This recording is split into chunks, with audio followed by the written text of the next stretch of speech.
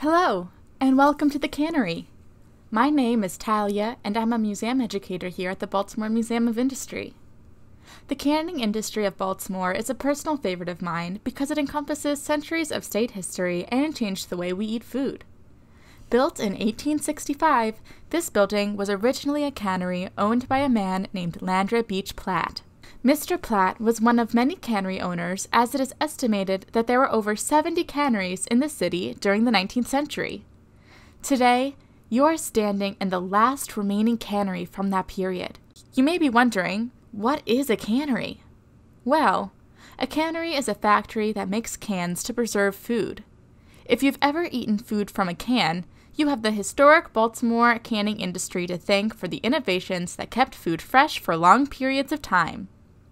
In Mr. Platt's cannery, like Baltimore's canning industry as a whole, they preserved fruits, vegetables, and oysters. New technologies and a thriving Chesapeake Bay made Baltimore's canning industry the most active in the country. By 1870, the selling of oysters was a $50 million industry that employed 15,000 people statewide. Those numbers would steadily increase until the turn of the century, when the Chesapeake Bay faced a shortage of oysters from overharvesting.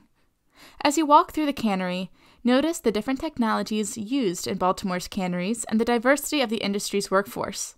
And look down, too. The wood floors are from Mr. Platt's cannery as well. Enjoy!